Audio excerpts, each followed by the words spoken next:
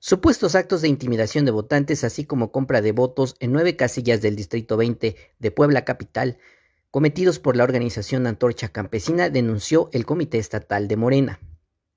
A través de un reporte de incidencias, el Movimiento de Regeneración Nacional informó que un grupo de 10 antorchistas aproximadamente, a bordo de una camioneta Fontier color gris, recorren casillas de la demarcación con la intención de intimidar a los votantes y operar a favor de la coalición PAN-PRI-PRD.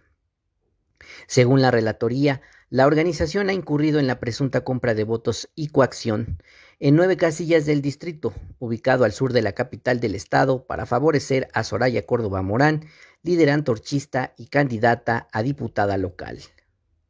En estas casillas se detectó que se compra a mil o mil quinientos pesos cada sufragio para favorecer a la también exdiputada federal. La jornada de Oriente.